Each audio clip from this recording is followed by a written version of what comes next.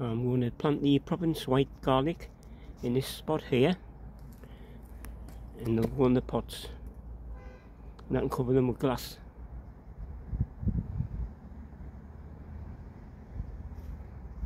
That's the plan.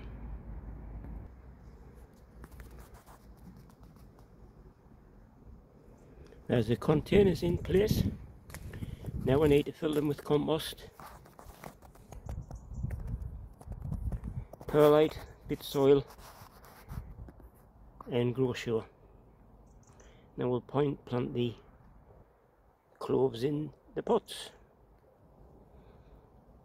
Right, the pots are filled up with the compost. I need another bucket and I'll plant the plant the uh, garlic cloves.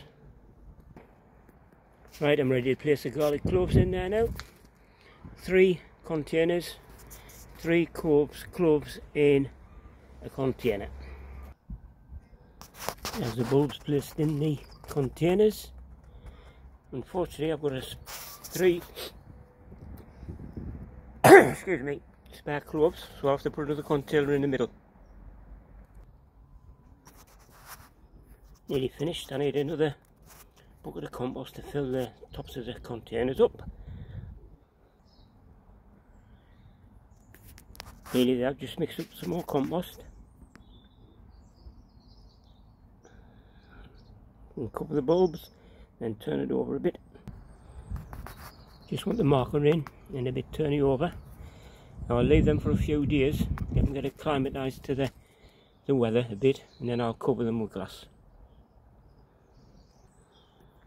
That's it, I'm finished. All planted out. It's a lovely morning. Let's hope they grow.